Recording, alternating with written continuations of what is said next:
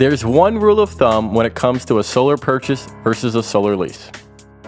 If you can claim the solar tax credit, go with a purchase. When purchasing a solar system, the federal government will pay for 30% of the system's cost through a solar tax credit.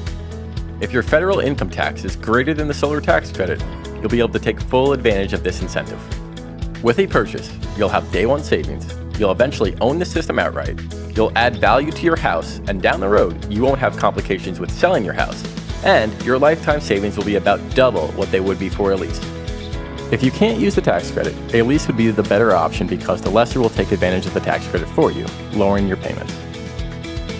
With a lease, you can go $0 down, and you will have higher day one monthly savings than a loan. For either option you decide to finance with, you will have a 25 year performance guarantee provided by the panel manufacturer.